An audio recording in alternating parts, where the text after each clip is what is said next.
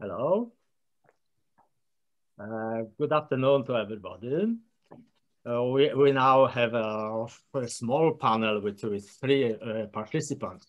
And I am very, very, very happy that my two colleagues, uh, uh, which I know very well, we, we cooperate uh, for a long time. they accepted my invitation to, to take part in that, in that panel. Uh, just in a few minutes uh, on, in one of my slides, I explain you also additionally why, why I, I have invited those two uh, people. Uh, just for, for, for the beginning, uh, let, uh, let's see who they are. the, the, the, first one is, just a moment, it's Christian Hölz from Germany. Uh, she's a director of, of the mm. most uh, of the biggest and uh, most well-known organization of German individual investors. she's organized, organizing several big conferences. Uh, I, I, I, can always remember a conference in Wiesbaden uh, uh, for organized for several years. A very, very, very good conference with uh, a big number of participants, uh, always very, very interesting. Yeah, I, I, I uh, also cooperate with, with uh, Christian in, in some expert groups on, on, the EU level. So the more thank you, Christian, for uh, for coming here with a very interesting uh, presentation about uh, a Wirecard. And the second is Andy Agaten, Agathangelou, uh, who, who is a, a founder and uh, chief and main organizer of Transparency Task Force. This is a very international organization with, uh, with participants from all parts of the globe, even from America, East Asia, uh, Australia, New Zealand, etc.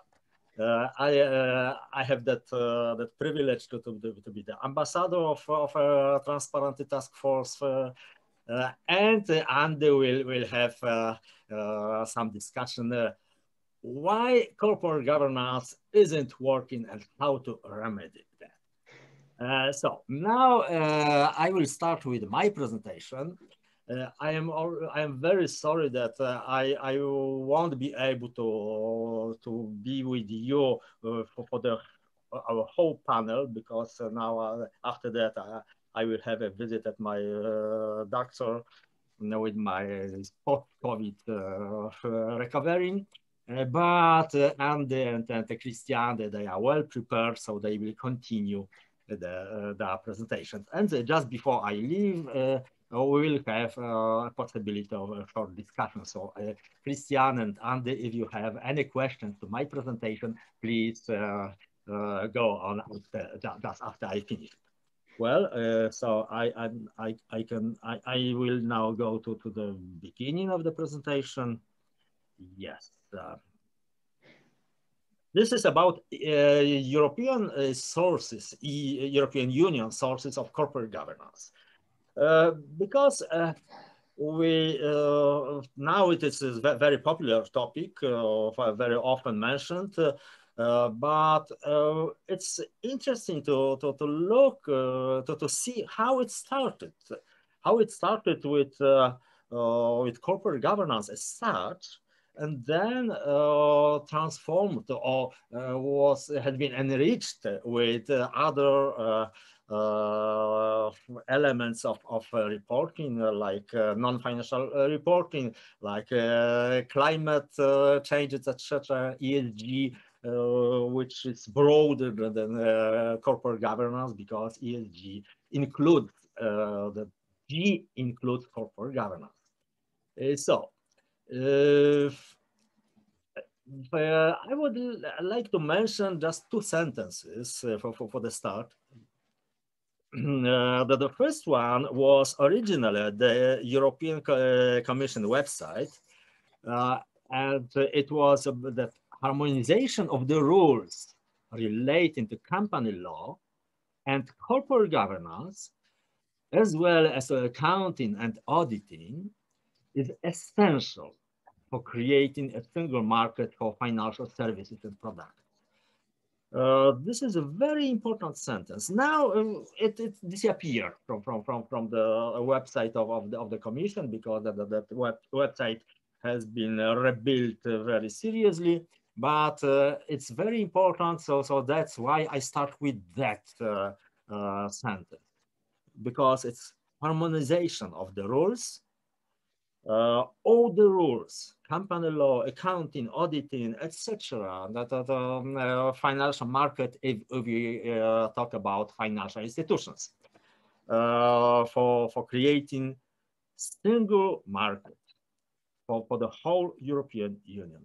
And the second uh, sentence, uh, which is much even older than, than the, the, the first one, is the sentence of Sir Adrian Cadbury, who is well known as a, well, as a founder of, of modern corporate governance. Uh, let, let, us, uh, let, let us say uh, like that. The foundation of any structure of corporate governance is disclosure. Openness is the basis of public confidence in the corporate system. And funds will flow to centers of economic activity that inspire trust. This is also very important sentence because it, it tells us why we are uh, we are dealing, we are talking about corporate governance, why it is so important for us. Because it has it, it has also a very important economic factor. If there's a trust, uh, the uh, capital market, so the, the investor will, will, will come, will go to that market, will invest their money, will, uh, will develop that, that market. So those are two, two sentences that, that I always repeat and I, I will always remember as a real uh, start of corporate governance and a real um, uh, explanation why, why it is so important. Well, the first steps, uh, uh, starting from, from the modern time, because we, we could uh, find some sources of corporate governance very, very long ago. But uh, when it, uh, it started more, more officially with, with some documents. So the first real document was Cadbury report that Sir Adrian Cadbury was, was leading person working on, on, on that report. and uh, it uh, it gave some guidelines, uh, but on a comply or explain basis. And this is the principle which is governing corporate governance all the time. So we can follow corporate governance guidelines or corporate governance principles. They are not compulsory, but if you don't follow them, you have to explain why and when you will start to follow them because they are so important for, for, for, for, for all participants, all market participants. Uh, so th this was the, the, the first uh, documentary uh, start. Uh, and uh, in following years, uh, some other EU countries also uh, prepared uh, such guidelines. this, this was, this was the, the, first phase with guidelines. not corporate codes as such, but only soft, very soft guidelines.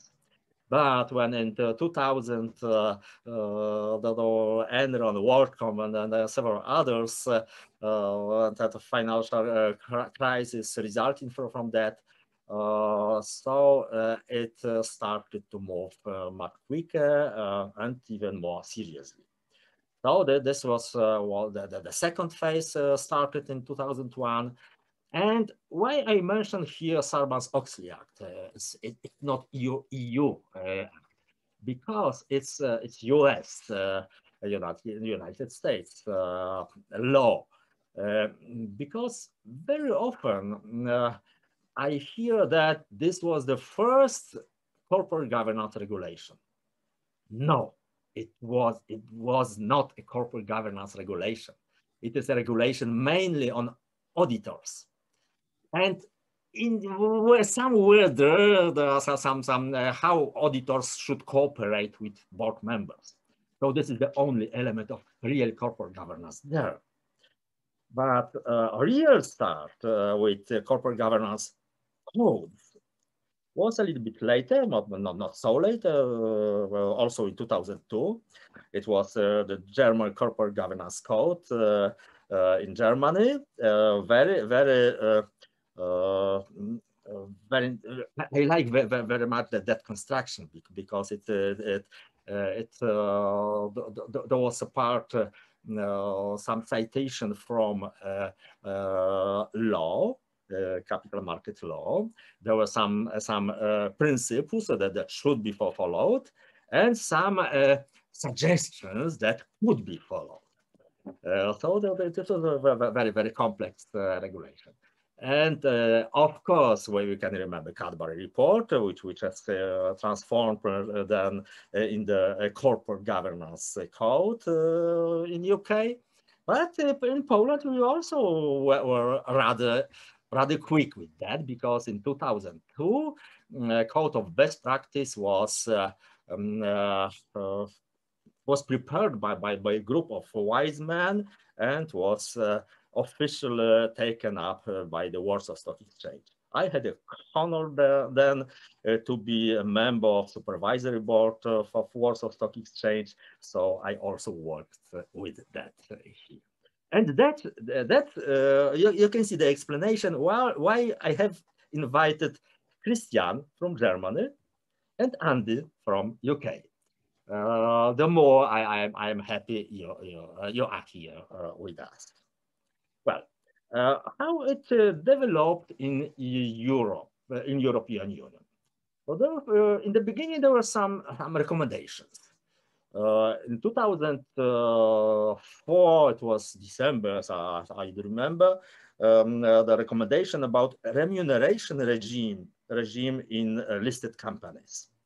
Uh, the, those were the first uh, guidelines or from the hints how it should be organized uh, in the um, spirit of corporate governance. The second one, just a few months later, uh, it was uh, another recommendation uh, uh for uh, how non-executive directors should uh, should do their job.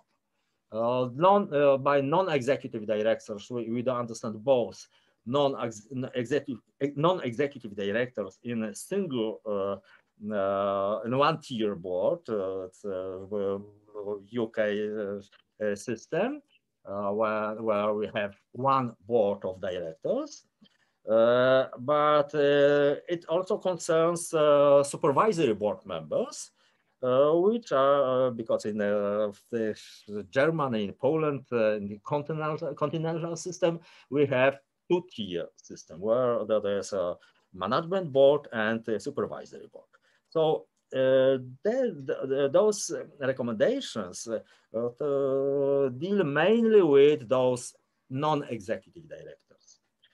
Uh, a few years later, a few years later, uh, after uh, some revision of of, uh, of current practices and of current development, new recommendation uh, in 2000 uh, in 2009 two new uh, recommendations appeared.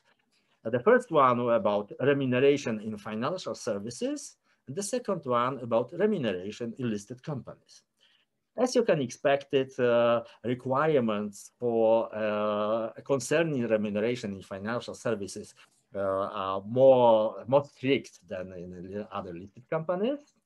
Uh, because uh, you see financial uh, services are very important for, for all the um, for everything what what what what what we deal with on, on, on the market. But a little bit earlier, in 2006, um, there was the first uh, directive uh, on statutory audits of annual accounts uh, with, that mentioned audit committee. Uh, so uh, in every, in, in, not also in listed companies, but uh, what what we are dealing today with is listed companies. So uh, it was uh, uh, the first regulation telling us that at uh, regulation, not recommendation as, as, as before, uh, that told us that uh, in listed companies, in the boards of directors or in supervisory boards, there, there should be an audit committee who, who one of, of its tasks was cooperation with external external auditors, but one of the of, of the last. Then uh, there was a green paper about corporate governance in financial institutions and remuneration policies. And then uh, directive in 2010, new directive uh, called CRD3 uh, uh, about uh, which taught also about supervisory review. No, so not, not only how they, they should be prepared, but how they, should also be reviewed and checked whether they are executed. Uh, so a review of remuneration policies. Then a green paper uh, in a listed corporate governance in listed companies was announced. I, I am very happy uh, that it was announced at the corporate governance co conference in Warsaw in Poland. Uh, in uh, so uh, I could also be more involved with that. then, well, okay. Um, uh, that came directive in 2013. There was another directive on the annual financial statements.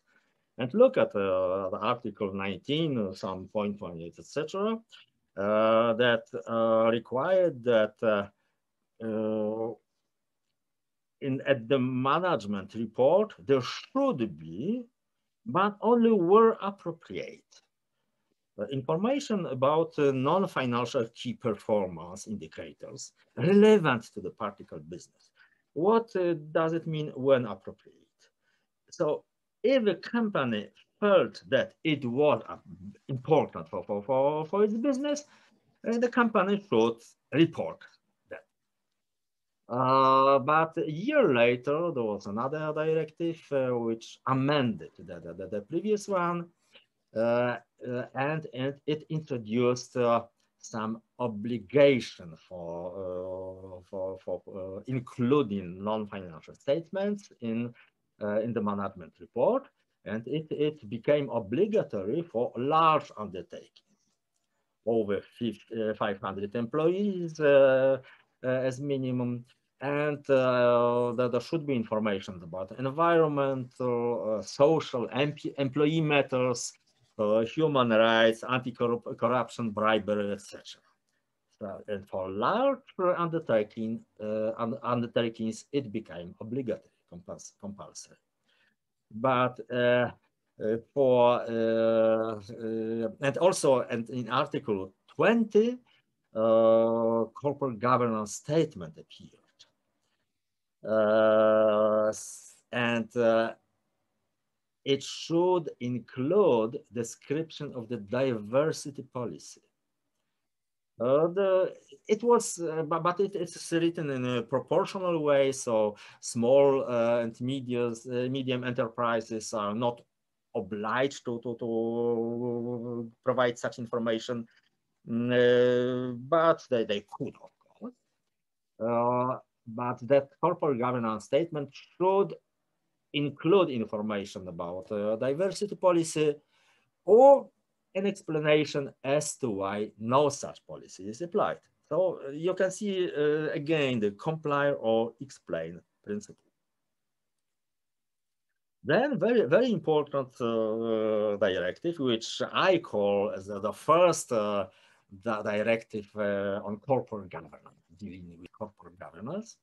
And I am also very proud that uh, I, I, I, took part in, in, the works of on that directive in a working group in Brussels, and then uh, uh, with implementation uh, uh, that directive in Polish uh, into Polish company law.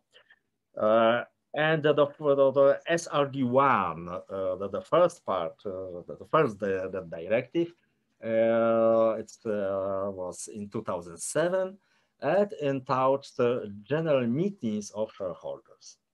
Uh, this is very important part of corporate governance because uh, this is uh, to, to, to, to, be, to be frank, uh, this is the only real possibility of shareholders to meet management board, supervisory board members. So, so to, to discuss with uh, uh, with the man management of, of the company and to um, to specify the, the, the most important uh, strategy and directions where a company should go. And of course, uh, for another direction, uh, so the most important information from the man management to uh, shareholders. 10 years later, uh, came uh, another directive, uh, SRD2, so directive which amended the, the, the first directive, but not only amended, but a, a lot of new requirements, uh, new new uh, guide guidelines, new new uh, proposals have been included there. The first one is about identification of shareholders. So how the company can know who really are the shareholders, because uh, you, you see in listed companies, uh, shareholding changes every day. Uh, and uh, but sometimes companies would like to uh, to, to know at least uh, what are the groups of, of holders, what what their interests are, etc., etc. The, the second part, of very important, transmission of information. So not only during the general meetings, but for, for the whole years, how to how to uh, inform the, the, shareholders about the current development, the current corporate governance events in the company. Uh, another part, uh, the further going facilitation of exercise of shareholders' rights.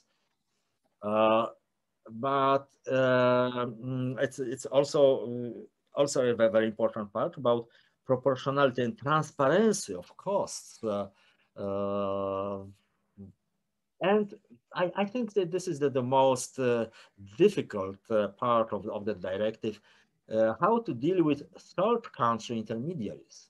Because uh, when, when you look at the flow of information from the company to, to, to the shareholder, it goes through the chain of uh, intermediaries. When those intermediaries are, are in European Union, uh, so they have uh, they can have some obligations uh, from on, on the basis of MIFID directive. But if they are outside of Europe, so they are not obliged to, to follow MIFID. So here we have only some some uh, sentences uh, talking uh, that the EU intermediaries should organize such a co cooperations with set country intermediaries so that that flow of information is not broken. It's not easy task. Um, there are some some some flaws uh, here, but it at least shows the direction uh, it should go in. Uh, and uh, another chapter was added here, remuneration policy and reports, uh, and a very important part, related party transactions. Uh, but uh, I, I would, I would. This is not not uh, not a, a, really chronological chronological order because now we are coming back to, to 2014 when uh, there was another recommendation of of Commission, the European Commission, uh, on, about quality of the corporate governance reporting on the basis comply or explain. Uh, and what uh, what uh, we remember, what company, companies remember is the second part of, of that, uh, which uh, is showed here, quality of uh, explanations in case of departure from a code.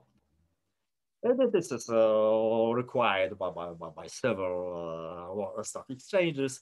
Uh, in, in Poland, it is required by, by, by the Warsaw Stock Exchange also. Uh, so how if the company departed from the code, from the whole code, or from a specific uh, principle from the code, it should explain in what manner uh, it was uh, done, what, what, were, what were the reasons for such a departure.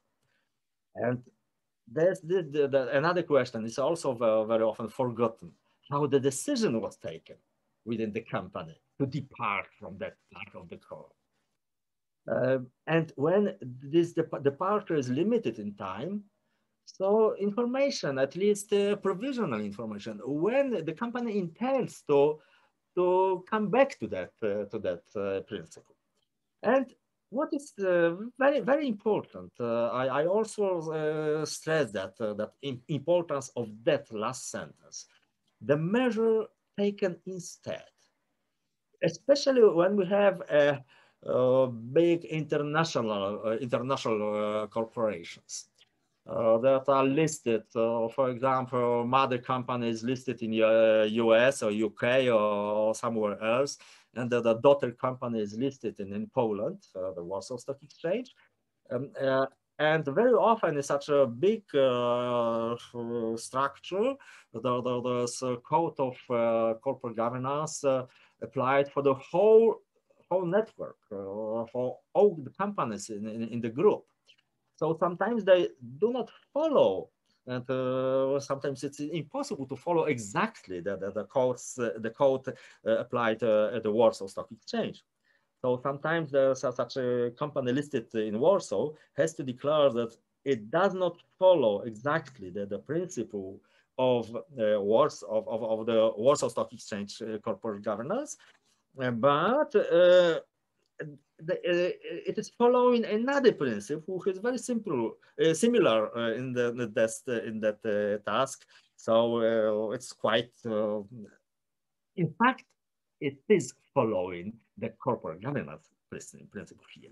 But just uh, let, let, let, let come back to, to the first part of, of that uh, recommendation. It tells, uh, tell us about the quality of corporate governance statements when the, the, the code is followed.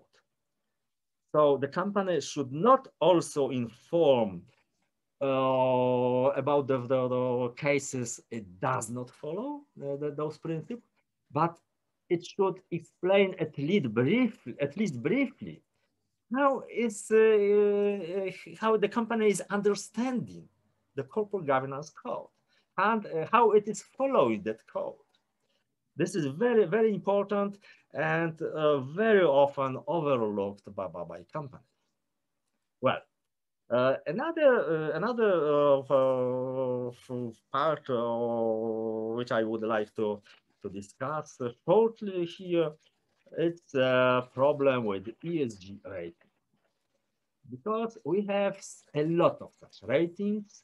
Uh, several uh, uh, stock exchanges apply some some some uh, indexes, indices uh, based on, on that. And uh, just lately, Warsaw Stock Exchange also applied, introduced such, such an index. Well, I am happy that such an index has, been, has been implemented here but uh, I am very disappointed with some some some uh, flaws of, of of, of that uh, index. Because roughly speaking, uh, the 60 biggest companies included in that, that index. Uh, we have uh, uh, 20 for 20 biggest companies uh, and big, WIG 40 for next 40 biggest companies. So together, those two indexes, uh, two indices. so all the, the, those companies that are in those two indices are ex definition included in this ESG rating. And their participation in, in the rating may be reduced uh, when uh, the ESG uh, rating is low. But that ESG rating is rather opaque for investors because they, they don't, don't, don't don't have a possibility to, to know what are the real criteria applied in this in this ratings. Uh, the company can can know that, but the company has to pay uh, to, to get such, such information. Uh, and uh, if the the ESG rating is very, very extremely low, the participants of, of, of that company can be reduced, but no less than to 60% of the of the of its original uh, participants uh, in the index. And uh, another factor which, which can lower the, the, the participants is corporate governance reporting. But the possible reductions is even smaller because if the company completely does not follow corporate governance, or if, if the company is lying about uh, in, in, in, its uh, reports, the uh, share in the index uh, may be reduced only to 85%. When you multiply those two factors, you, you will receive uh, that the company which is completely against ESG, the, complete, the com company which uh, completely neglects uh, corporate governance, it still remains in that ESG index with the share of 51%. So in my opinion, such, such a company could be immediately removed from the index, but it's, it's still there. But it's not, not the problem only in, in, in Warsaw Stock Exchange because let, let, let look, look, let's see that uh, ESMA uh, letter uh, sent uh, this year, in January this year, uh, about the, the problem with, with ESG rating. And, uh, and um, told us that, that, that there's a risk of greenwashing there's a risk of capital misallocation because investors who believe they are investing uh, uh, in ESG friendly companies, in fact, they, they are investing in, in, in, in quite different companies. There, there's a risk of conflict of interest, uh, product mis-selling, etc. Uh, so the, the last slide, uh, I would like, uh, because I, when I look at the, the, the development of corporate governance, sometimes I, am disappointed with with with, uh, with, uh, uh, with, directions it is going to or is not going to. Uh, but always, um, always I, I, say, well, we can, we should do what we are able to do. So we should try. Uh, don't stop our efforts. And this is one one of such a, such a movement in Poland, we have uh, such a contest uh, uh, that started since in, it started in 2006 and reviewed annual reports of 2005. the contest for the best annual report organized by the Institute of Accountants and Taxes in Polish Instytut Rachunkowości i Podatków. Um, I am the member of, of the jury from, from the very beginning. Uh, and uh, last year, uh, last year, uh, from the, the, the, pilot edition was uh, in uh, 2019. and that, that pilot edition was for, for big 20 companies. were in the main, because, well, we have three groups of criteria uh, in that context. The first one is uh, financial report, uh, how it apply, applies the international rules of reporting. The second part is management report. And the third part was so-called uh, colored report. So, so the, the, the, the, book printed by, by the companies as a kind of adver advertisement of, of, of, the company. But uh, in 2019, we started a pilot edition uh, where is, uh, additionally, we've, uh, we have looked at the corporate governance reports as such. And last year, in 2020, uh, the, the structure of the, of the criteria of the whole contest has been changed. So for the financial report, you can obtain 40 points. For management statement as such, without corporate governance, you can get uh, 30 points. And for corporate governance statement, you can get 30 points. So the, the big, big share in the, the, the, the, the big prize is about corporate governance statement. And uh, you see, we have some some quite uh, quite nice uh, experience from from that pilot edition and from from that last year edition. So I, I I strongly believe it's a good way of promoting corporate governance and corporate governance report. uh, I will finish my presentation. Then uh, mm, before before before I will have to leave, Christian and, and Andy, please uh, give your comments if you have so, uh, or if you have some questions to, to, to, to me, I, I, I will be happy to answer them. And then I, I will leave you for, for yourself. Thank you. Thank you very much, Andy. If it's okay, I would start.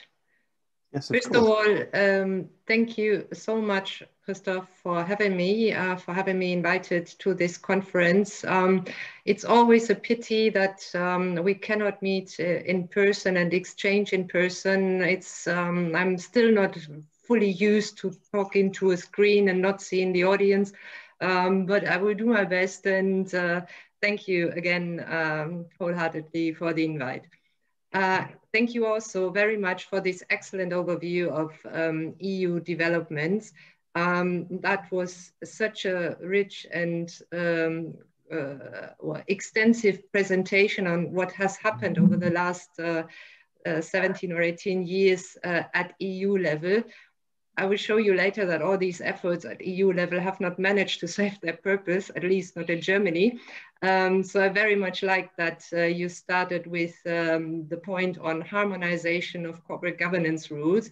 So my, my first question, I have three questions to you. I had could have hundreds, but I will focus on three, uh, would be um, uh, what is your view? Wouldn't that bear the risk that um, we would get um, we would, uh, this would lead to minimum standardization um, and um, uh, counterbalance some efforts uh, member states have already achieved in their own local corporate, uh, corporate governance system.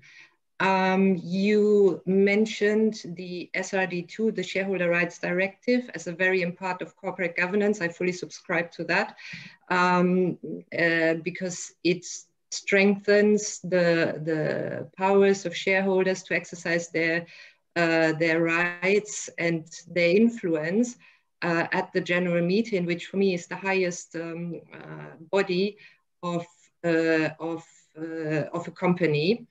Um, you will be, I'm sure, well aware of the Sustainable Corporate Governance consultation of the EU Commission that has, has just been closed a couple of weeks ago, in which the Commission um, shows a bit of a, uh, an intent to shift from a shareholder um, approach to a more stakeholder empowerment. And I would really uh, like to get your views on how you perceive, would perceive this. Um, would it really make sense to uh, include uh, stakeholders, to empower stakeholders more than uh, shareholders um, or in the same way than shareholders.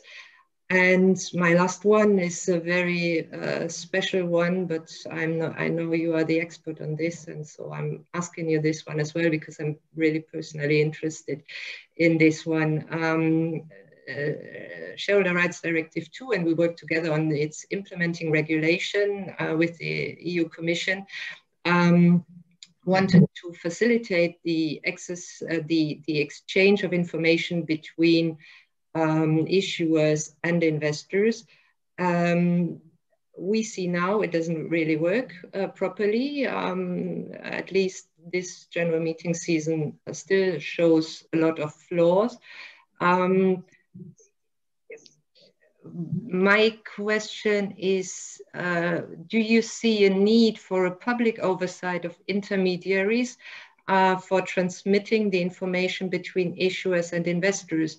For example, in Germany, there is no BaFin, our national competent authority is not responsible for this.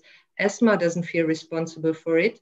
Um, there is not really someone who is overseeing um, the, the exchange of information if, uh, between issuers and investors. What would be your view on this one? Yes. Thank you. I know it's a lot of questions, but I'm really interested. And I'm sorry, Andy, I'm monopolizing a bit. That's okay. It's okay. It's okay. Uh, Andy, you would like to ask your questions or, or you, you prefer that I, uh, I start with answering Christian's questions? I, I think Christian's questions are excellent. Please do respond to those and then, then I'll chip in after that. Thank you. Okay, okay.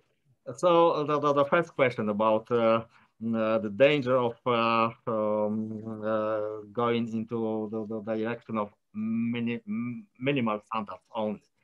Well, this is a very, very, very, very difficult uh, question because uh, the countries, uh, the, the, EU members differ very much between between. So it is, it is, it would be very, very extremely difficult even to try to to provide a universal uh, code for, for, for the company. So we should we should go with, with those minimum standards for uh, for the whole European Union.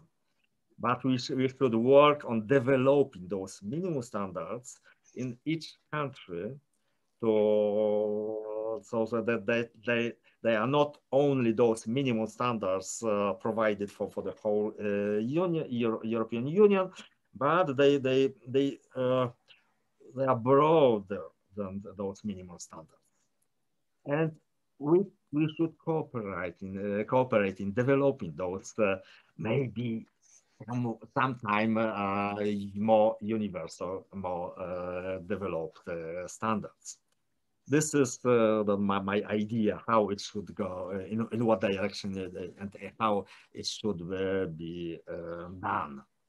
As for, uh, for SRD2 and the, those works on, of European Commission about sustainability and empowering more stakeholders than shareholders, well, it empowering stakeholders more than shareholders, it would be too far reaching. But I always repeat that corporate governance, uh, uh, I don't understand uh, corporate governance in a, in a very narrow sense as, as relations between management and shareholders, but uh, as a very, very broad sense that this is uh, the the whole set of regulations, art regulations, law uh, regulations in law, and self-regulations. So the, the, the, the, soft law concerning all the aspects of uh, uh, contact of the company with with, uh, with, outside world.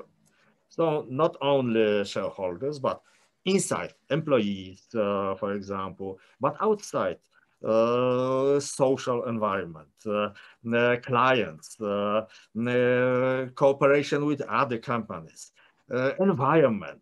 So it is very important. So always we when when when when you are a member of, for example, if you are a member of the supervisor supervisory board, and I I have some experience because because I was a member of the supervisory board of, of the Warsaw Stock Exchange, also at the Citibank uh, in, in Warsaw.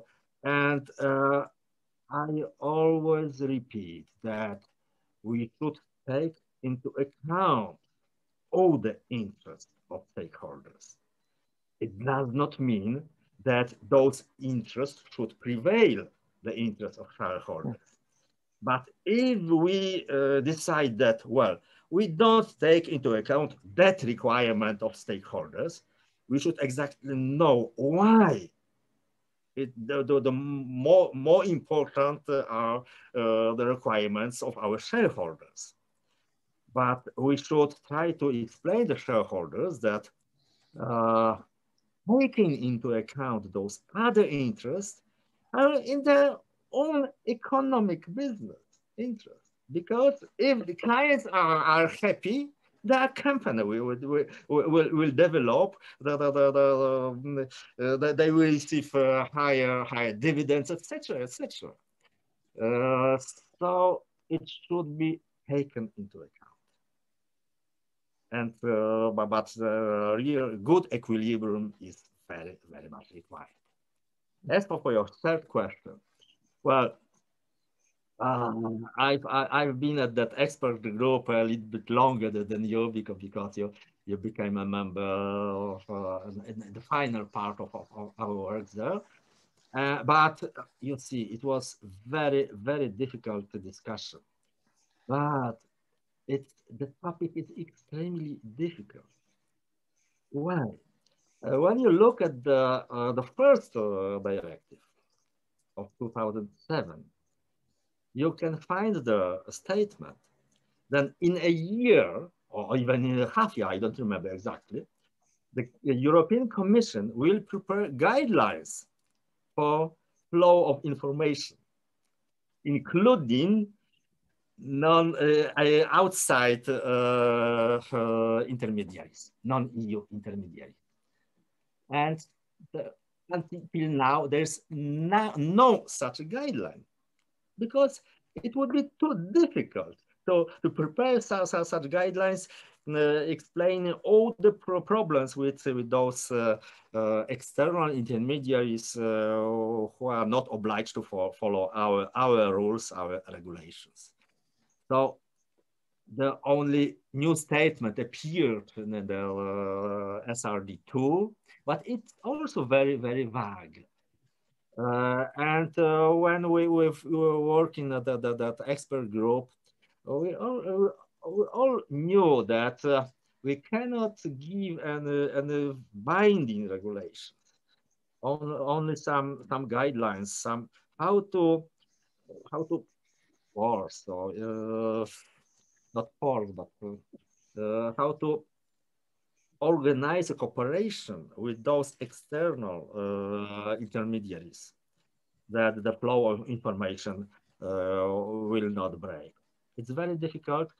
Uh, I don't believe that any kind of supervision by, by ESMA would, would, would help, but some kind of, of study how it is uh, what what are what are strong uh, strong sides of, of that uh, cooperation and uh, what are weak uh, sides of that cooperation I think it is, it is important to, to, to, to perform such a study so we can um, have some, some new ideas how to, how to deal with that big, really big problem. I, I, I hope I answered your, your, your, your all questions. So Andy, yes, go on with your questions. Thank you. I, I have just one, and it's a very general question, Christoph. Uh, but before I go to the question, may I also thank you very much indeed for inviting me to be part of your, your discussion today. It's a very important discussion that we are having because failures in corporate governance affect all of us in so, so many ways.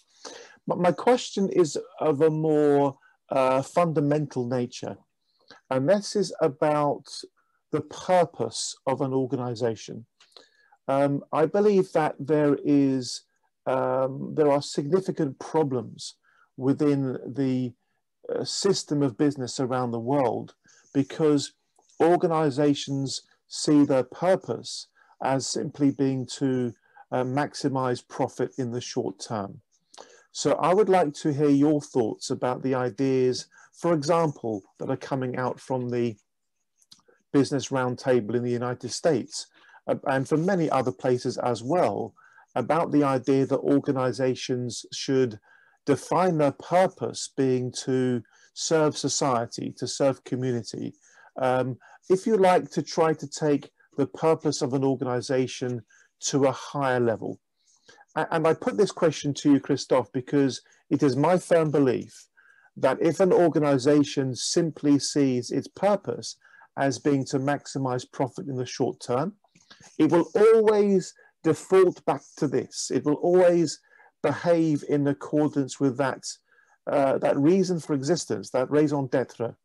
So it is almost like trying to defy gravity to get an organization to behave properly if it sees its purpose as being profit maximization. So a very general comment, but please share with us what you feel about the importance of organizations getting to grips with what their true purpose ought to be. Thank you.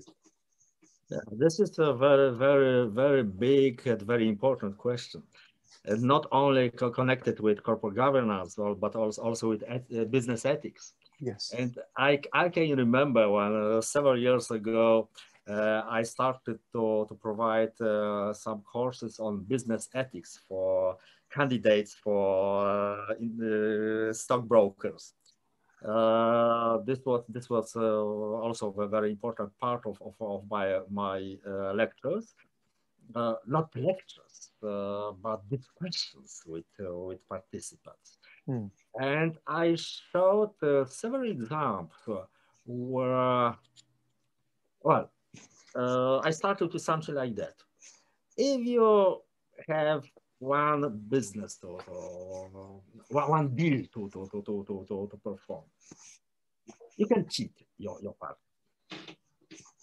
In short term, you win because you will have a perfect uh, profit, etc. But your partner uh, will feel yes.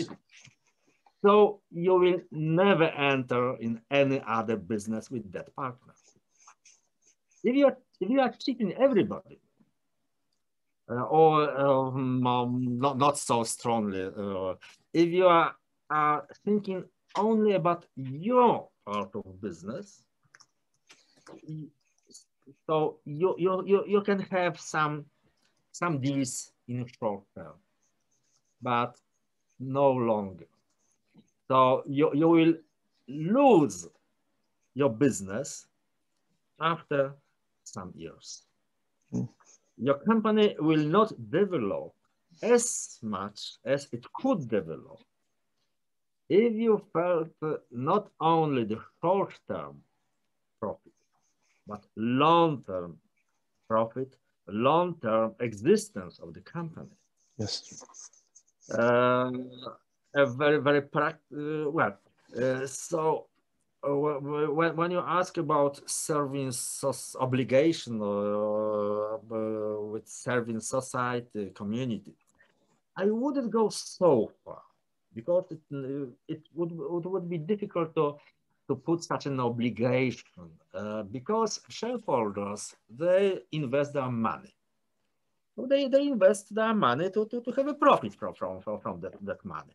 Mm. And uh, I have I always ask uh, have a question: Why uh, shareholders should um, uh, should have in mind the society, community, when several other people neglect that? Uh, but if they they they uh, they do understand that maximization of profit in short term is very is very short uh, horizon of our uh, activity. We don't live year or two or three. We, we, we are living longer, and longer. Uh, I am now almost 70 uh, and I, I intend to live uh, some, some more uh, years also. so we should, our perspective of life is not a quarter of, of a year it's not a year. It's not a five-year term. It's long period.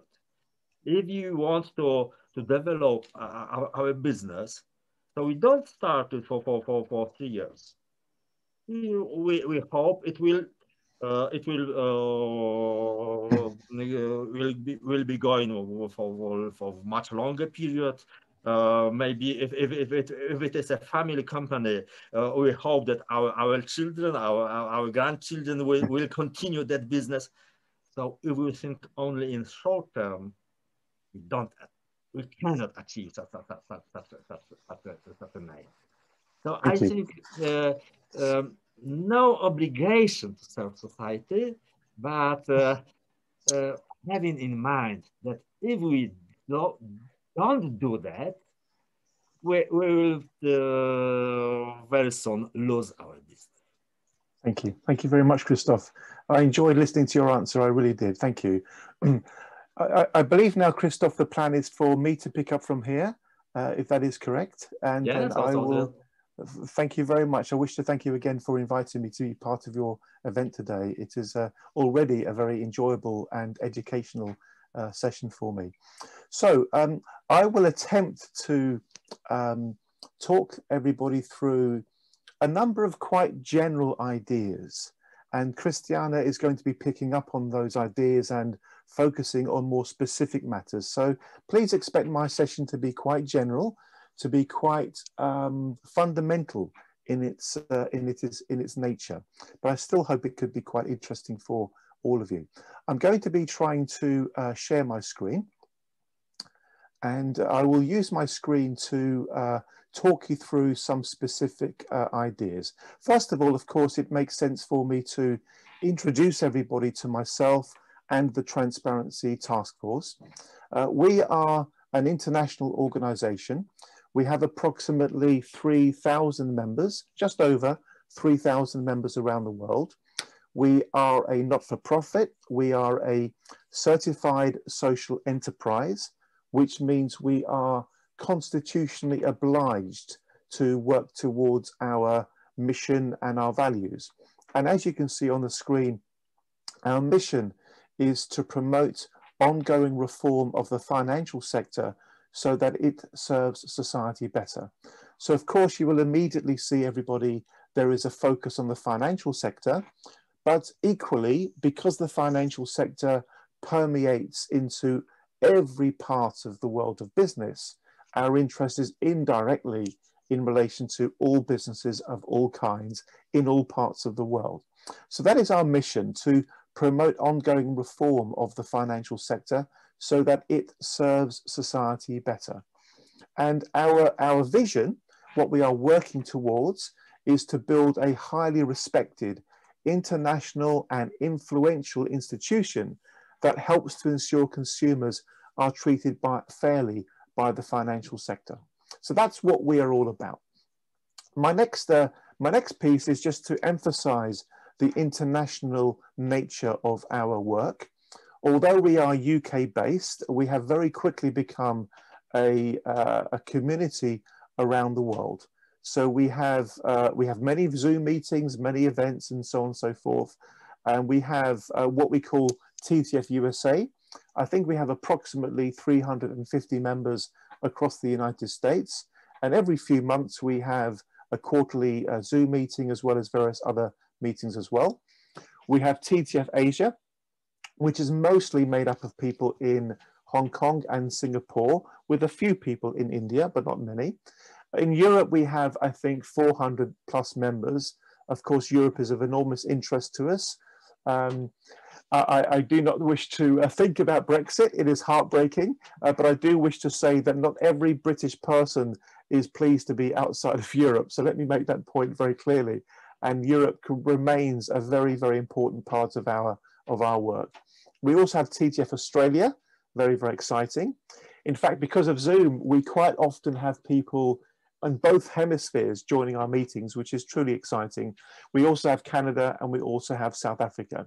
Now, going back to Europe, I should mention this, and I'm so proud. Um, uh, several years ago, I had a telephone conversation with uh, Guillaume Prache, who runs uh, Better Finance. And we, the Transparency Task Force, I'm so proud have become associate members of Better Finance. And I'm trying to, in a way, grow the Transparency Task Force into something like Better Finance for the UK and for other parts of the world. And occasionally I say to Guillaume and the others at Better Finance, the world needs better finance, not just Europe. The whole world needs better finance. And I will always do what I can to try to make that happen. The next piece I will talk about is our ambassadors. Uh, our ambassadors, we have approximately 300 of them. These are very, very important people. These are individuals who are particularly well aligned to our mission and our values and our, and our principles. Uh, we have um, ambassadors in many, many parts of the world. Uh, we only have one in Poland, and it, it will not surprise you who it is. It is Christoph himself. We are, of course, very, very proud to have Christoph as our as our ambassador in Poland. We are always looking for more, and um, I will give some slides to the organisers to circulate, and through that, people have the option to contact me about this particular matter or anything else that I'll be speaking about. So I hope that is enough so that you all get a feel for what the Transparency Task Force is. Just think of us as a collaborative campaigning community right across the world that wants the financial industry to behave itself, to actually not break the rules, to uh, keep out of trouble, to not wreck the global economy, uh, and so on and so forth. I'm now going to uh, turn the clock all the way back to 1914, because in 1914, this gentleman, I hope you can see my screen, yeah? This gentleman, uh, Justice Louis Brandeis, wrote a book. Now, it is quite likely you may never have heard about him. And even if you have, you may not think of the connection between Justice Louis Brandeis and the topic of corporate governance. But let me tell you this. In my opinion, pretty much all the corporate governance that we need can be achieved if we operate the principle that Justice Louis Brandeis wrote about in 1914. So let me tell you about the book and let me tell you about the principle. And you will, of course, see why I am so uh, keen to uh, promote this particular principle. The book I'm talking about was written in 1914. Uh, you will see by the length of this Wikipedia page that Justice Louis Brandeis did a lot in his life, a great deal, including getting onto the face of, uh, uh, onto the cover of Time magazine. But in 1914, Justice Louis Brandeis wrote a book. Uh, the book is entitled um, Other People's Money and How the Bankers Use It. I will just repeat that Other People's Money and How the Bankers Use It. It is a good book. Despite the fact that it is old, the principles within it are still very, very sound. And there is one particular point that is hyper significant to the topic of corporate governance. And that point is this, and you will find it in his book. It is the first place this point was ever made. He made the point, this gentlemen and ladies, he made the point sunlight is the best disinfectant. I love this. Sunlight is the best disinfectant. It is such a powerful point. It has a lifetime's wisdom in just one simple sentence. Sunlight is the best disinfectant. So if I may please, I will speak to this point.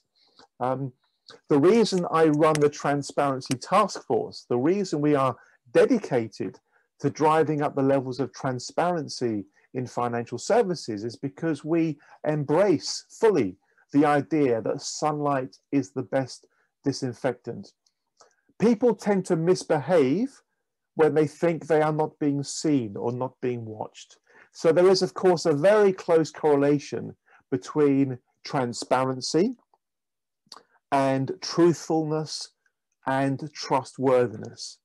So I would argue, ladies and gentlemen, that where we have disclosure, we probably have good conduct. Where we don't have, where we don't have um, good disclosure, we probably do not have good corporate conduct. So we must challenge ourselves what is there that is currently in the ecosystem of business that is in the shadows, that is in the dark, that is opaque? Because that is where the problems are.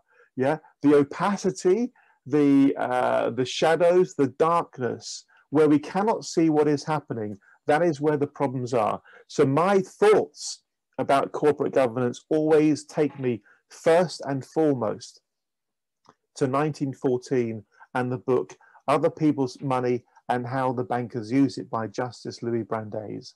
Please think about this. Sunlight is the best disinfectant. Sunlight really, truly is the best disinfectant. The, the second person I'm going to refer to goes even further back than that. Even further back than that. Of course, you will have heard of Charles Darwin Everybody knows about Charles Darwin. Everybody knows about the origin of species. Yeah, the book that was all about evolution. But you may be wondering, yes, but what has this got to do with corporate governance? I will explain. In my opinion, the wisdom inside the book on the origin of species helps understand the issues that corporate governance is trying to deal with. My point is this, ladies and gentlemen. If we think of corporate governance as a solution to a problem, the good place to start is to think about the problem. What is the problem that we are trying to deal with? And let me tell you what I think. I think, ladies and gentlemen, that the problem we are trying to deal with is two words human nature. Allow me to contextualize this. You see, the reason we are here today is because of survival of the fittest. We, the human race, exists because for millennia, for tens of thousands of and millions of years, we have evolved to survive. Survival of the fittest, by definition, explains why we are here. I don't mean why we are here talking about corporate governance. I mean why we are here in terms of why we have survived to exist. And my point is this at the heart of survival is the notion of keeping yourself alive, keeping your immediate family alive. Surviving life death means being selfish. It means looking after your needs. It means doing what it takes to get by, minute to minute, day to day, week to week, month to month, year to year. So, ladies and gentlemen, I have a phrase, and the phrase is progress begins with realism. The phrase progress begins with realism speaks to the idea that if we really want to improve things, we must be very, very honest with each other. And my point is that when all is said and done, we are a species. We are animals, some more civilized than others, but essentially we are driven by the same survival instincts that Charles Darwin wrote about all those years ago in On the Origin of Species. And if we were not successful at surviving, we would not be here today. So I would argue, ladies and gentlemen, that we need to think about corporate governance as a solution to the problem of people being fundamentally self interested and recognizing that the idea of being self interested is hardwired into all of us to one degree or another, and that in and of itself, the idea of doing well for yourself, surviving, getting by, is not fundamentally wrong. We create a sense of right and wrong because we look at it from the perspective of morals and ethics. And of course, if we choose to live in a civilized society, we can think of survival in that way. But my point is this we must assume that people are driven by very, very strong human nature characteristics. Now, here we are today in 2021. We do not think, need to think day to day about life and death and survival as a species. We think about other things. So I'm now going to introduce another player into this explanation that you've probably never thought of in the context of corporate governance before, but you may be very, very familiar with his work. So I am now talking about Abraham Maslow. Abraham Maslow, Maslow's hierarchy of needs, a very famous explanation of the way people behave and why people behave the way that people behave. He wrote in 1943 a paper uh, the, a, a, theory of human motivation. And he expressed this theory of human motivation by way of the pyramid, which you probably cannot see, but do not worry. I will be circulating a link to all of these web pages. I hope they may be of some interest to you. Now, there is only really uh, one or uh, two levels in the pyramid of needs that are of interest to us today, because the very base level is uh, physiological needs, i.e., eating, keeping ourselves warm, that, that's not of interest to us today. The next level are safety needs, you know, stopping us from being um, attacked by a saber-toothed tiger, for example. That's not really of interest to us today. The next need is about belongingness and love. Very, very important. Very, very important. important. a sense of belonging and love. And the level above that is about esteem. And those two levels, esteem needs and belongingness and love needs, they relate to what Maslow, Abraham Maslow, in 1943 described as psychological needs. The level above that is self fulfillment, or sometimes referred to as self actualization. This is about the human being reaching a sense of, if you like, um, enlightenment, a sense of achievement, being comfortable in yourself about who you are and what you do. That's not really that relevant either, but most definitely, if we think about malpractice, malfeasance, misconduct, mis-selling, regulatory failure, corporate governance failure, we can trace it back to the psychological needs that Maslow talked about. And unfortunately, the psychological needs within esteem, belongingness, are at the root of the human behavior that causes the kind of corporate governance failures that are of real concern to all of us. If we think, for example, about the notion of greed, how often have, have how often uh, has it been that organizations have failed from a corporate governance point of view because of greed? And of course, greed is a very complex human emotion that taps directly into what Maslow was writing about way back in 1943. And inevitably, sometimes uh, these issues are very, very problematic indeed. So let me take you to this page. You're looking at a, uh, a, web page relating to the Federal Aviation Administration, the FAA, the United States uh, based uh, aviation governing body. And it's a web page relating to Boeing 737. You will all be familiar, of course, with the very, very tragic crashes of Boeing 737s.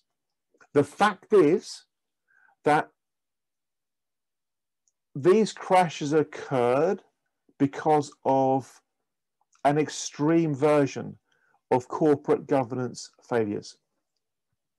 The crashes did not need to happen. They happened because of corporate governance failures.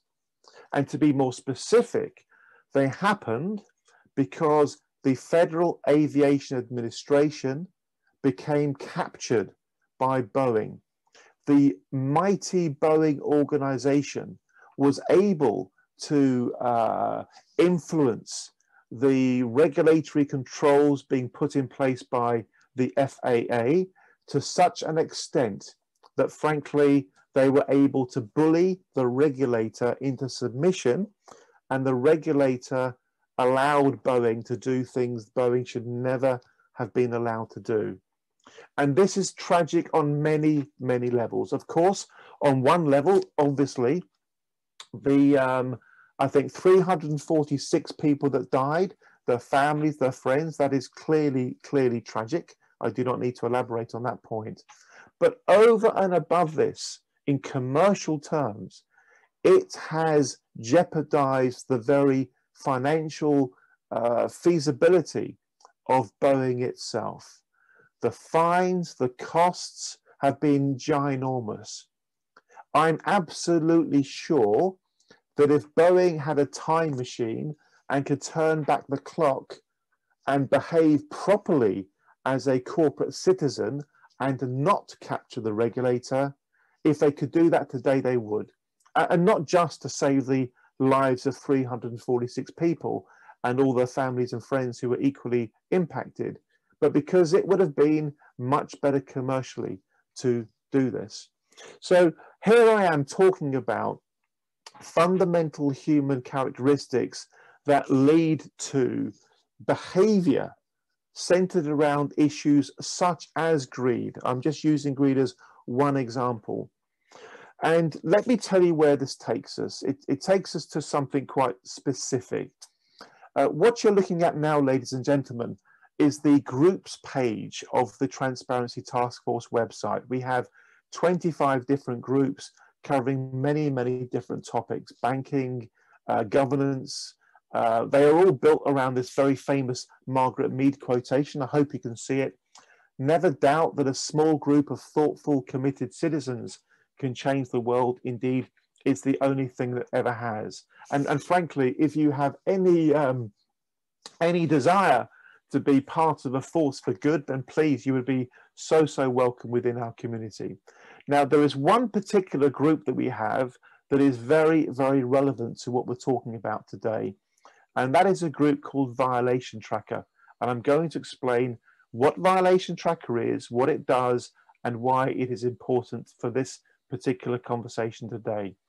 Um, as I said earlier, ladies and gentlemen, I will be circulating some slides, and in the slides will be the links to all of the web pages that um, I'm sharing with you today. Now, I'm going to start off with some very, very good news. Violation Tracker is an American uh, database. I stumbled across it last year. I, I found it online and I was so, so impressed with it that I contacted the people at Violation Tracker in the United States, in Washington, D.C., and we have had dozens and dozens and dozens of conversations about bringing Violation Tracker initially to the UK. So we, the Transparency Task Force, set up the Globalization of Violation Tracker Group. I'm very proud that we did that. We have approximately 85 people in the group, and the initial focus is just about bringing Violation Tracker to the UK. However, it is worth mentioning that uh, Better Finance, you recall I mentioned we are associate members of Better Finance, Better Finance are also involved in this project.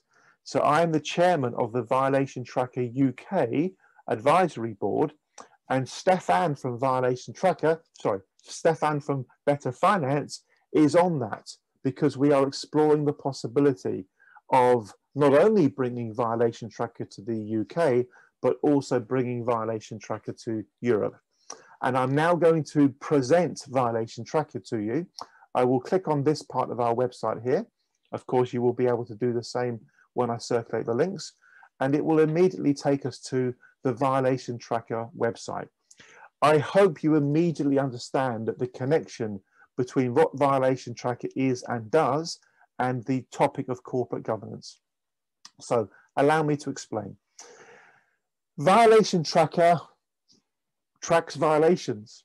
To, to be more precise, it tracks corporate infringements. In all, there are 483,000 civil and criminal cases from more than 300 US agencies. Okay, US agencies. Allow me to explain what we mean by US agencies. If we click on here, where it says agency data sources, I will just highlight it. I hope you can see. Um, we click on it, and this gives us the list of all the United States agencies where data is gathered, sometimes manually. So much work, sometimes manually, sometimes electronically, to bring the data all inside one super powerful database, as I will show you in a moment. And we are building a list of, I think, 50 agencies in the UK to begin with, where we will be capturing similar data, similar information. So let me show you what we can do with it. It is, it is wonderful. It is wonderful. We can click on this button here, largest penalties, and it will immediately take us to the largest penalties. I am not proud to say that a British company, BP, the oil company, is the single biggest um, um, offender in terms of largest penalties because, as you can see, they're in the oil and gas sector. They were prosecuted for environmental violations in 2015 by DOJ, that's the Department of Justice. The fine was $20.8 billion. dollars. $20.8 billion. That is a lot of money, ladies and gentlemen. The second biggest offender is Bank of America, a fine in 2014 of $16.65 billion. Then Volkswagen, I don't need to elaborate, JP Morgan, etc., etc. In fact, quite interestingly, you will see that there are quite a few, quite a few financial services companies in this database. And that is what excited me so much when I found it, because I realized when I was looking at Violation Tracker, I was looking at a transparency machine. I was looking at something that is almost like an MRI scanner for poor corporate conduct, because every one of these infringements represents a corporate governance failure. And if we, if we want to, we can also uh, select from the database by way of, um, excuse me, by way of uh, industry totals.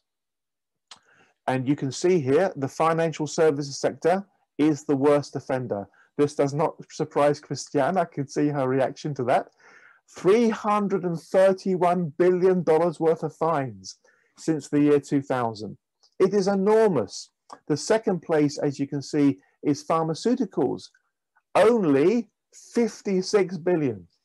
So just to put this into context, I think you have to add up places two, three, four, five, six, seven, eight, nine, ten to equate to the total of the financial services sector. And if you have a particular interest, for example, you may have a particular interest in terms of the environment. You may be somebody who wants to know about the environmental infringements. Well, you can do it. You go to the bit called offense groups, you click on environment, environment related offenses, and it will immediately give you the information pertaining to that. You can do the same with employment rights. You can do the same with all kinds of different things. So the good news, ladies and gentlemen, is that a violation tracker exists in the United States. It is coming to the UK. We are planning to build the UK database probably by about November. And through Better Finance and Stefan and his colleagues, we are hoping one day, as soon as possible, please, for uh, for a violation tracker to also come to uh, to also come to Europe, which I think would be a very good thing, because it is clear to me that the better we can illuminate corporate regulatory failures, the, uh, the better a job we can do. So I'm going to uh, close by basically just saying to you all this. Uh, there is no doubt in my man, in my mind, that when we think about corporate governance, we need to think about the fundamentals of human nature. We need to think about what we were taught by Justice Louis Brandeis, sunlight is the best disinfectant. We need to think about what Darwin taught, taught us about the evolution of the species and how we are all hardwired to survive. And because of that, uh, we, are, have, we have a predisposition to put ourselves first. Uh, and Maslow's hierarchy of needs articulates that very, very, very, very well. And I've also shared with you Violation Tracker, which I hope you agree looks like a pretty cool thing to try to bring to Europe. Um, when I circulate my slides, you'll have all of those links. Please, please, please we need support, we need contacts. Um, we want everybody that has an interest in having a, a utility uh, like, like a Violation Tracker coming to Europe to share. So that is it. That is my presentation. Very general, very principles based, very fundamental. I will stop speaking now and pass over to Christiana to take the conversation wherever she would like to take it. Thank you. Thank you very much. Um, what a rich uh, and uh, fruitful um, um, presentation you gave on uh, such various aspects. You, and what I really, really liked is that um, you you uh, you mentioned the violation tracker is the high uh, the highest offender according to the violation tracker is the financial services industry. With that, you closed the circle to the very beginning um, you started with is the book of Louis Brandeis, um, Other People's Money. And that exactly is one of the reasons why um, the, uh, so many problems occur in the financial services industry because they're not talking about their own money. They are just dealing with other uh, people's money. And where sunlight is the best disinfectant, electric light, he also said, is the best uh, efficient policeman. yes, yes, yes, yes. Very good.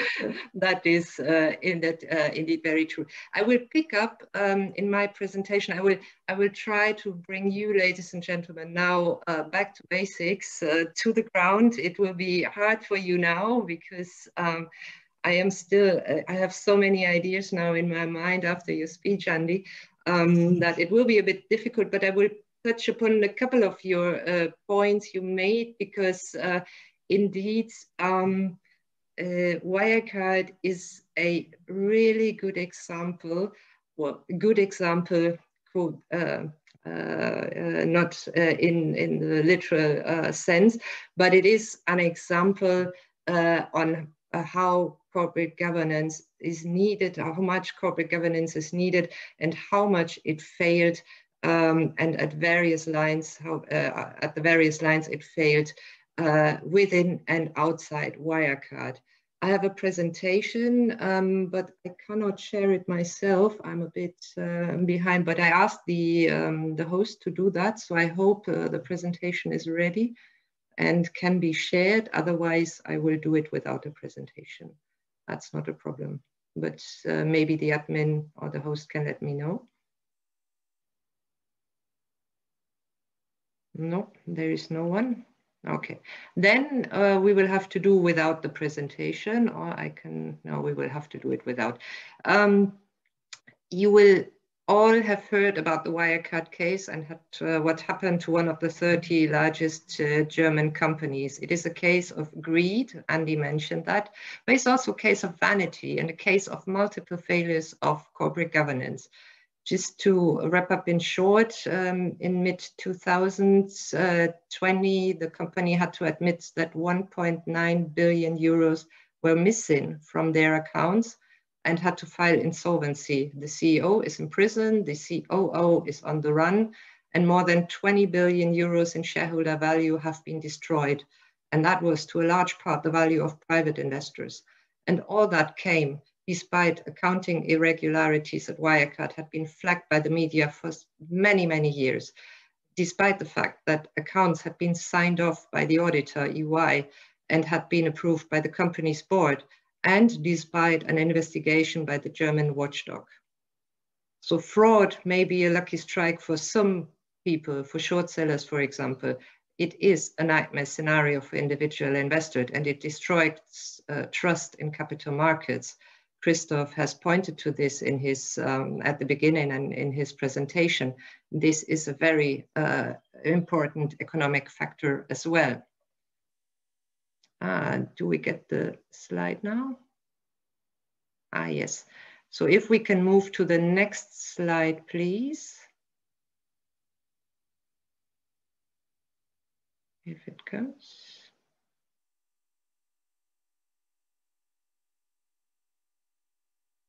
Yeah, that's perfect. Thank you so much. So to avoid fraud, we have normally various lines of defense. We have the internal audit, we have the supervisory board, and we have the external auditor. In addition, we have some further lines of defense. We have the public supervisory oversight bodies for companies and also for auditors. Um, and in my presentation today, I would like to tell you from my perspective and individual investors' perspective, where the first three lines of defense failed, why they failed, how the German legislator reacted, and what still needs to be done to improve the situation for investors in Germany, but also throughout the EU. So if we go to the next slide, please.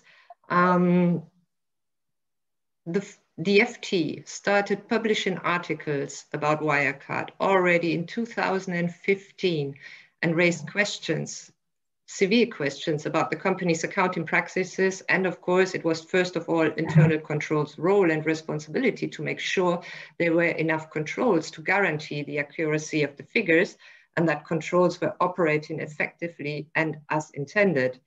But the management denied everything. Even after the major shareholder of the company initiated a special audit by KPMG and KPMG released a forensic report in early 2020 in which they raised red flags about Wirecard's accounting for the three prior years, the management still seemed to be in a state of denial, stating oh, none of the accusations, suspicions circulating publicly since uh, January 2019 have been confirmed and no evidence was found for the publicly raised allegations of balance sheet manipulation. That was the official statement after um, uh, a special report by KPMG. Can we, I know we stay on this slide. When KPMG conducted its review, it was not able to identify 1 billion euros in revenues. 22% of the revenues of that period. I have no idea, honestly, no idea how the internal controls, the internal audit could, could have missed something that big. Uh, they should have looked deeply into revenue on an annual basis that was over the, the 1.9 billion missed cash they had to report mid 2020 was over 60% of the cash holdings. Uh, um, it's an amazing sum. And given that Financial Times started publishing articles already in 2015, I mean, uh, internal audit should have been looking into these accusations, setting up the audit work that provides assurance that financial information is correct and free of any material error. It is first of all internal controls role and responsibility to make sure there were enough controls to guarantee the accuracy of the figures, but it was not internal controls that discovered the fraud. So the first line of defense, uh, it severely failed, obviously. And the question is, what lessons can we draw from the Wirecard case when it comes to internal controls? So on the next slide, we can see, we can take a brief look at the existing legal framework. Um, that's what we have in Germany, but also a bit, I'm looking a bit on, uh, on the European side. So German companies are expected to adopt the risk management system that uh, provides for thorough and consistent evaluation of the nature and the extent of risks to which they are exposed to, as well as an internal control system that ensures functionality of all essential business processes. And then we have the accounting directive, that is the European one, which requires companies to include in the management report a corporate governance report with a description of the main features uh, of the internal control and risk management systems. Um, the problem is that in Germany, internal controls do not have to be audited. Management up to now only has to install an early warning system, which is part of the risk management system and the internal controls. Only this early warning system has to be audited according to our commercial code. And the audit focuses only on risks threatening the existence of the company, which may be uh, often not uh, that obvious in a first sense, or maybe only in combination with others, be really threatening the existence. So it's quite, from, a, from an investor's perspective, it's quite a um, weak system at this stage. Um, of course, uh, the goal cannot be to avoid fraud in any case. The Wirecard case shows nevertheless that this legal basis was not sufficient, is not sufficient, and that we definitely need to strengthen internal controls. So on the next slide, you will see um, the reaction, a few um, points of reaction from the German legislator. Uh, we will, um, I will quickly uh, switch to, uh, through this. Um, we, uh, the, we will have to have in future an appropriate and effective internal control and risk management system within listed companies. Um, it will be much wider than we have before. It will not only relate to an early warning system, but it will um, cover, cover um, uh, the risk-bearing capacity of a company, risk aggregation, risk response measures, etc., etc. So um, there is uh, a bit of action going on, um, which is very important. And um, for one reason that is not maybe not directly linked to corporate governance, but it's the COVID pandemic. pandemic. Uh, the three elements required for fraud to occur, that is pressure, that is opportunity, and that's rationalization. they have been heightened significantly by the COVID pan pandemic. So organizations really need to update their controls to meet all of the, the challenges thrown at them since 2020 and test them accordingly. What also is important for, from an investor's perspective is that the auditor needs to audit the corporate governance declaration. Christoph has uh, spoken about it earlier in his presentation. In Germany, it's not necessary. Um, so uh, why is it not yet being audited? It will come at some point, um, uh, but it is uh, not yet there. I think it is more important to go now to the corporate governance side. That's why we're here for. Um, here in Germany, and that's on the next slide, um, in Germany, the supervisory board is in the focus. Uh, Germany has, like Poland, I understand, a two-tier board system where the management is responsible for the daily business and the super board, uh, supervisory board is uh, responsible for overseeing management board decisions. Um, so two aspects that a supervisory board is able to perform its tasks properly is um, to, uh, the two elements are the composition of the board and the information flow uh, to the board. Both elements, from my perspective, are extremely key. And if we take a look at this exactly, at the composition of the supervisory board uh, it, at the beginning of 2019 from Wirecard. You see, uh, you see one former banker. Ah, shit, it's now I have uh, done, wait. You see one former banker, you see two management consultants, you see two technology specialists, you see one energy expert. None of them had expertise in leading a large cap company. None of them um, uh, was uh, directly, on the, under, on the other hand, none of them was directly linked to the management, to the major shareholder of the company. So they were all independent, yes, but they lacked expertise. Um, there was, as I said, no former executive of a large cap uh, where is the audit expertise, um, uh, where's um, financial knowledge. We cannot really see it, except maybe for the former banker. So from an outside perspective, it seems that the supervisory board lacked the competency um, and diversity to lead a multinational, um, to lead a multinational tech firm Maybe they have felt inhibited in seriously challenging management about the assessment and mitigation of key risks, or that's what I suspect, they could not act as a true sparring partner. On top, um, and until early 2019, the board chose not to create a dedicated committee for audit or for risk and compliance that would have been able to thoroughly discuss key risks. So um, even though the uh, audit directive required this from, uh, from uh, member states, um, Germany had chosen not to transpose this um, um regulation from the directive and um, let it uh, let it this uh, what let the companies themselves decide whether or not they wanted to establish an audit committee or not. And last but not least, the German legal system does not provide supervisory board members with the opportunity to exchange with relevant staff members directly. That's, um, that's what I um, said at the beginning is another very important part.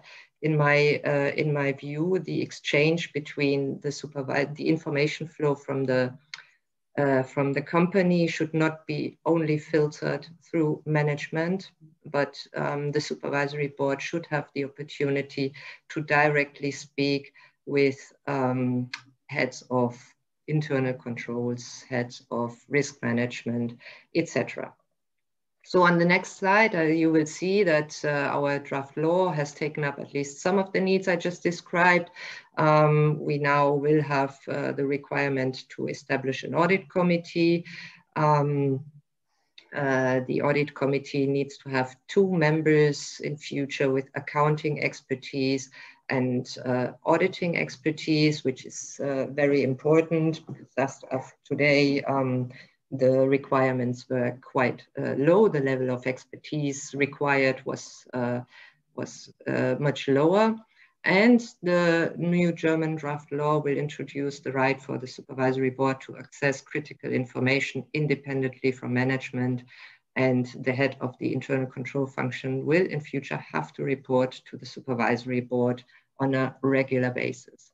But of course, there's a lot still missing in uh, the uh, draft law. It's a first step forward and it's a good step forward, but um, what is, for example, missing is that the chair of the audit committee must be, should be a financial expert with competence in uh, accounting and auditing.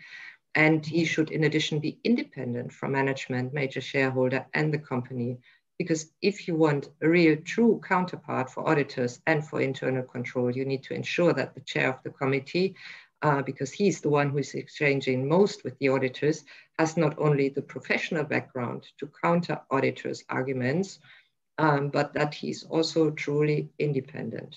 Also missing, it's another point, is that the audit committee should be composed of a majority of independent members to in ensure independent oversight of the matters at stake. If we go to the next slide, uh, we will speak a bit more about the auditors. I want to do that um, and give you a few examples, but I have to see, yes, the impact on uh, external auditor. So in theory, auditors should play a sensitive role. They are expected to look carefully into the books, get an insight into the various corners of a company. An auditor's certificate is something that has authority. It certifies seriousness, it certifies correctness, and investors and other stakeholders of what not only, uh, but especially of Wirecard have relied on the audit certificate, and they should be able to rely on such an audit certificate um, and therefore, also EY, as the company's auditor, is of course under scanner for failing to check Wirecard bank statements for uh, three years. Um, of course, audit breakdowns are not unique uh, to EY. Um, all of the big four firms uh, and also the, the smaller ones have been rocked by scandals. We know all that. The, the US oversight body for auditors, for example, found significantly high failure rates in the most recent figures they have published. Um, their inspectors found that Deloitte and EY got one in five audits wrong. I mean, one in five. Huh? PwC almost one in four, and KPMG even every second audit. That's yes, that's the figures from the PCAOB. Uh, it's uh, it's incredible. And all mm-hmm. four firms had worse records in the latest spots checks than when the PCAOB first began inspecting audits in 2004. So um, there are failures uh, in a huge amount. It's uh, Wirecard is not a single case. Um, the violation tracker uh, shows um, for, uh, shows uh, that there is a lot of uh, things that go wrong. And the question is what needs to be done to reduce the incidence of audit failures, failures at audit companies. And um, we have seen so many rules that have passed in the US and in Europe that tried over 20 years now to tackle this problem. We have um, the mandatory regular external rotation that has been introduced. We have a restriction on providing certain non-audit fees. Um, just to make sure that uh, auditors do not become too cozy with management uh, and to eliminate certain conflicts of interest. Uh, and we, we all know that another audit reform is underway in Germany, but also at EU level. So on the next slide, um, uh, you see um, uh, that next to the interesting ideas of a mandatory rotation, which will be introduced for Germany already now after 10 years, and we will get a further separation of non-audit audit services. There are four other points I would like to mention because I think they're very interesting to consider further. The first element is which guarantees that an auditor can properly exercise his or her role is the access to the necessary information. A lack of information easily becomes a lack of control. And in the Wirecard case, it is quite obvious that auditors, uh, auditors encountered issues in getting required information and data, including from third parties. Um, the problem was in particular acute in regard of the list of customers, access of a bank confirmation, or the account statements. The information that should have been provided was of crucial importance to ensure the right accounting treatment and in order to help the auditors to fully, fully exercise their mission. Um, uh, it, there was a lot of fraud behind the scenes going on at Wirecard, but still this information flow is essential um, for the auditor. Unlike in the US, uh, in Germany, we have not a standardized forensic audit. So the auditor is really relying on um, what is uh, being provided by the company. Another idea, which is not new because it exists already in certain member states, for example, in France, is the requirement of a joint audit. Uh, that can have several advantages. Um, two audit firms have to agree on the audit work, on the conclusions. It's more difficult for a company um, or for its management or the board to influence two audit firms than one. And it's also interesting, the liability in case of wrongdoing is split into two. This would also improve the reparation prospects of the victims. From my perspective, there's furthermore a need for more accountability of auditors towards the, uh, towards the company's shareholders. Uh, if, you, if you read an auditor's report, it contains standardized phrases that are overall, they are meaningless for investors. You look at it and you just check uh, at the end, does it say it's, uh, it's an unqualified opinion, full stop, then it's fine. But you don't really read it. Even us as uh, shareholder representatives, um, yes, we read it, of course, uh, but it's quite boring. And uh, to many, many, many investors, it is just meaningless. So key audit matters mm-hmm. have improved uh, the situation, but what would be really helpful, and some member states uh, like the Netherlands do that already, um, uh, the auditor has to report to the general meeting and uh, shareholders can ask uh, the, um, the auditor questions at the general meeting. Um, that uh, enhances accountability and um, is, uh, uh, I think, another small but maybe important piece that could be added.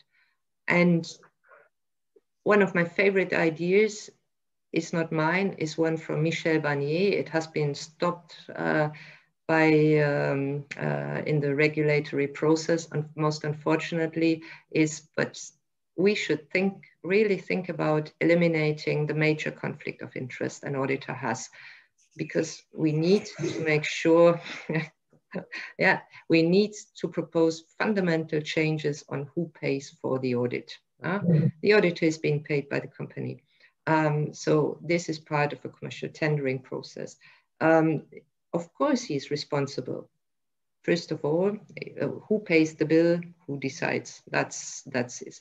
So a scenario where the audit rule is one of a statutory inspection, for example, um, when the appointment, the remuneration, duration of engagement could be should be or would be the responsibility of a third party, maybe a regulator rather than the company itself is really interesting to me. And um, such a concept may be especially relevant for the audit of uh, the financial statements of large companies or systemic financial institutions. So I think it is a really interesting point. Um, uh, as I said, Michel Barnier, the former uh, EU commissioner, has tried to um, bring this in the discussion and already in 2010 he failed miserably in the legislative process but maybe Wirecard has uh, has some good sides, and um, this would uh, is going to be picked up.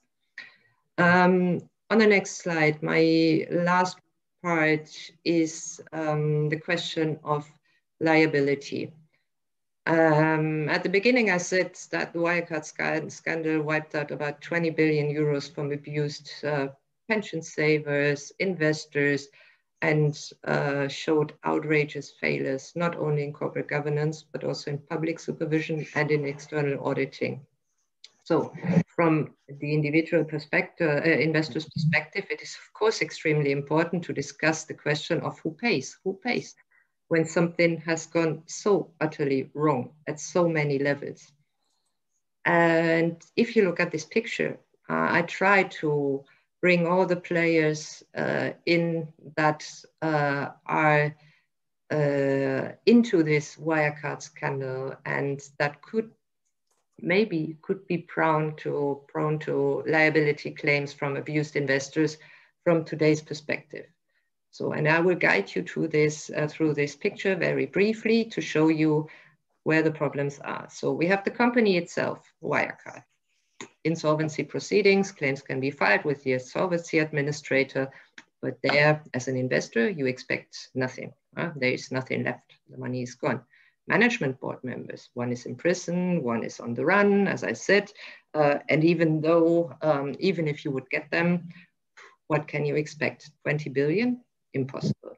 Supervisory board, uh, look at them. Most probably they have made mistakes. Most probably they could be liable, but first, nothing to expect from them too, because no, no one of them has enough money to, um, to pay, to compensate all um, uh, our clients, uh, suppliers, and in the end, the investors. And it's worse in Germany, there are no direct claims for shareholders under German law. So uh, there is no possibility to sue supervisory board members or management board members directly. It's impossible. You can only uh, sue the company, which then has to sue uh, the respective board members. A complex process doesn't work. Then the auditor. Yes, most probably yes. They have uh, uh, provided um, wrong audit certificates, but they have a liability cap, 4 million euro in Germany. Uh, it's they are ring fenced. It's only German EY Germany that would be liable, not EY US, not EY Asia, not EY UK or Poland uh, it would only be um, EY Germany and a liability cap of 4 million euro does also not help investors. Then we have BaFin, our national supervisor.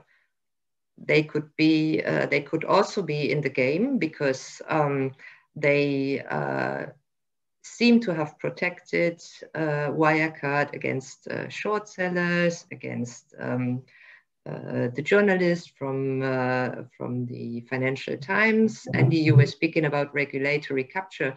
And uh, yes, it is, it is a, a, fair point to mention this, or what we hear now, or, or what we discover now, um, gives a bit the impression there could be have been a regulatory capture in, in our case. Um, but in any case, BaFin is legally excluded from liability because they do not act in the interest of individual investors, but only in public interest or the common consumer interest, I think they call it. So we don't have a, a BaFin does not have a, a, clear investor protection mandate. That's not very specific. Many uh, countries in Europe, uh, in Europe have it, but it is a huge deterrent to a sound investor protection. So Next slide. Um, what do we need? Um, we need, uh, first of all, that's it's not really a case for, for Wirecard, but in the case of Volkswagen, for example, it would have helped a lot. We need a direct liability of board members. Um, so we need a safeguard that links responsibility and liability. Um, it's important that board members recognize that when they have done something wrong, they personally will be liable.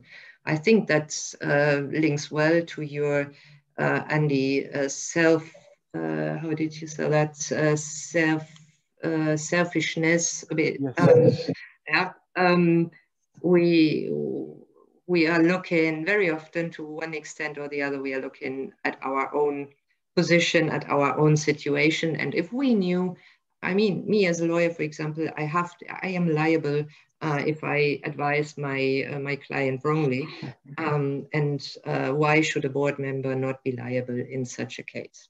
Uh, of course, in Wirecard case, it would not have helped much.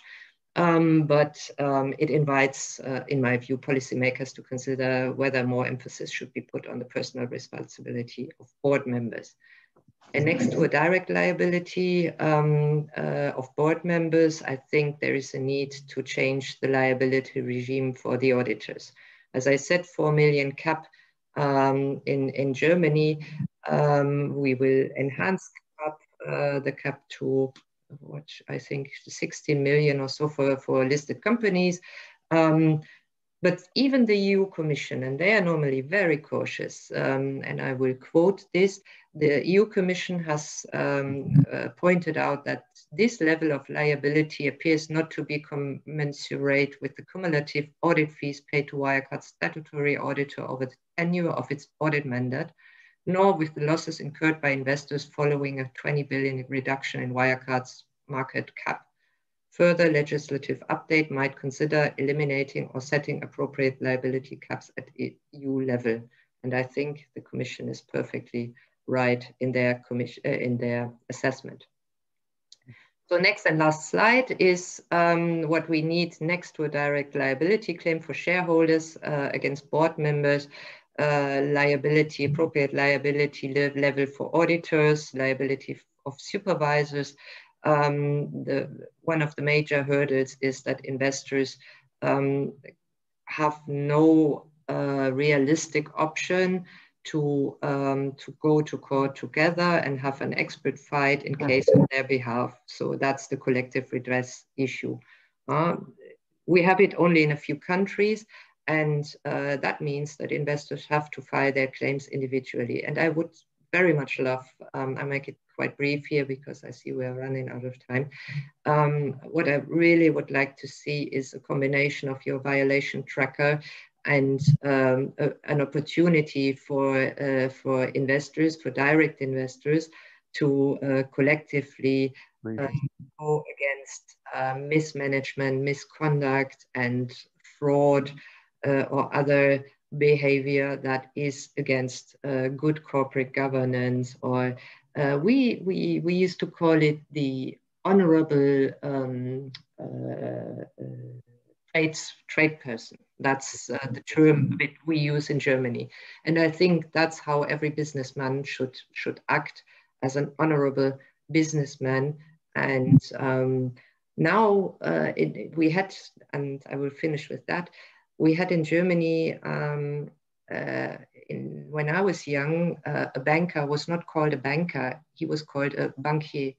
Um, and there's only an I in between uh, from bankier to banker, but uh, banker is has such a bad perception these days in Germany. Um, but bankier was an honorable person. And I think it is necessary to shift back to the honorable businessman or the bankier. Thank you very much. Christian, I've really enjoyed listening to you talk and seeing your slides. Um, uh, they, they really make a strong case, don't they, for the idea of um, independent appointment of the auditor. I think you make a very, very important point in all honesty, in all bluntness. Um, you know, human nature being what it is, the incentives being what they are, the ability for people to create relationships that become too cozy. Um, frankly, this is asking for trouble. And I'm very confident that if somebody said to you, Christiane, please design me a bulletproof corporate governance framework, one of your requirements in your design spec would be, of course, the auditors have to be independently of course. appointed. So I guess this becomes a question, Christiane, which is this. What can, what can we do collectively to support the idea that Michel Barnier had? Uh, what can we do to get some energy behind that? Because it is the kind of um, reform which is so likely to be so successful, it will meet a lot of resistance. So we have to work together to make it happen because the resistance to successful reform is always strong. Yeah. Yeah, it is definitely, and um, the audit reform was uh, the, the the last one, um, which was uh, I don't know ten years ago or so, which was uh, so I would say weakened down because the audit firm's lobby is unbelievably strong. It is stronger than the financial industry. It is really strong. But there will be a consultation upcoming. There will be um, work. There is work being done at EU level, and uh, I think it is high time for all uh, all parties involved, all uh, NGOs, um, all, uh, I think it must be also in the interest of companies, it must be in the interest of everyone except maybe the auditors, um, to, um, to uh, try to make sure that the profession of an auditor is, um, is worshipped more, even more again. Yeah, yeah. On, on, on that uh, call for action, which I support big time. I, I, propose we bring the session to a close. Christiane, it's been a real pleasure working alongside you and speaking alongside you. And of course, we had the, the benefit of Christoph's session earlier. Um, I've really enjoyed being part of this and I'll pass over now, I think, to the host and the admin. I'm pleased that you sent me your slides earlier, Christiane, so I was able to do the slides for you, but I think we should have the host and admin here to bring matters to a close. Yes thank you. Also, a big thank you from my side. Thank you for listening, and thank you, Andy, for the uh, really uh, totally interesting exchange. I really enjoyed it a lot, and uh, looking forward to further exchanges. Very good. Thank you very much. We'll make sure that happens. Thank you very much. Thank you. Oh,